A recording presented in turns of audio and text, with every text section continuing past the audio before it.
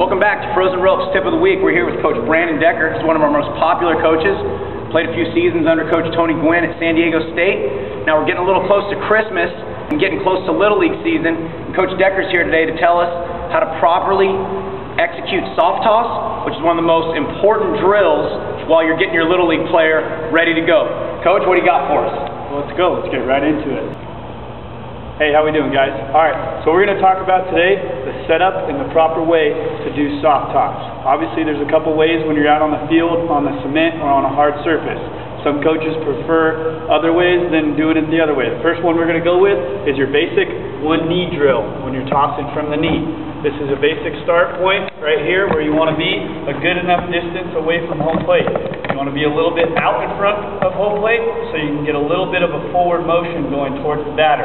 You never want to be to the side or behind the batter because it's a lot harder to judge the flight of the ball and take a good proper swing from the batter's box if you're directly in the middle of the player or behind the player. So you always want to angle yourself a little bit in front of home plate.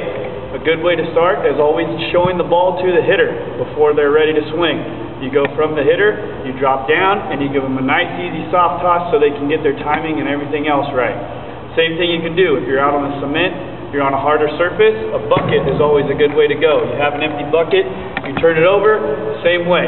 Show your player the ball, give them a nice easy underhand, feed it right to them, let them swing, and we'll go from there. Next thing we're going to do is we're going to show you how to do it with a hitter in the box. Now, after we showed you the basic setups, here's what it looks like with the player in the box.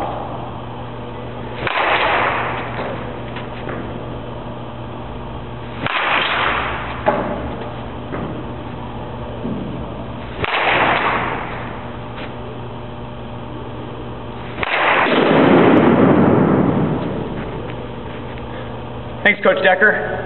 That's how you properly perform soft toss. Tune in next week with our next tip of the week. And while you're at it, follow us on Facebook at SD Frozen Ropes. Visit our website, Frozen Ropes San Diego. Make sure you follow us on Twitter at SD Frozen Ropes. Thank you from our staff here at Frozen Ropes, where there's never an off season.